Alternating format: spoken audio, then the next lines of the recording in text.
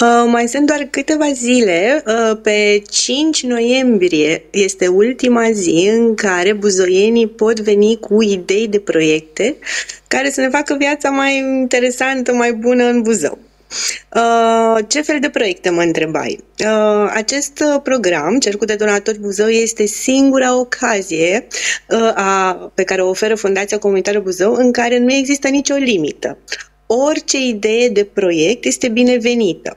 Suntem la a șasea ediție în Buzău și o să vă dau câteva exemple din proiectele care au fost finanțate în anii trecuți, ca să vă faceți o idee.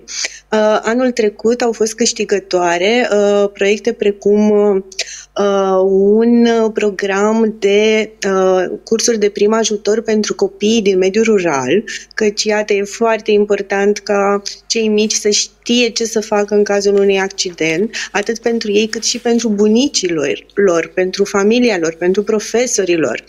Uh, un alt program pe care, uh, care a fost finanțat anul trecut uh, prin Cercul de Donatori Buzău a fost o cameră senzorială pentru copiii cu autism din Buzău. Uh, acest proiect a fost implementat de o asociație care se ocupă în mod uh, specializat de, de acești copii. Uh, un ansamblu de folclor și în același timp de promovare a tradițiilor uh, din zona Vintilă-Vodă o caravană cu moașe, uh, un studio de teatru pentru liceeni. Sunt idei de proiecte de toate felurile uh, ce sunt binevenite, dar ce este interesant la acest program este faptul că Ideile vin din comunitate. Oricine poate veni cu o idee, atâta timp cât formează un grup da? uh, sau o asociație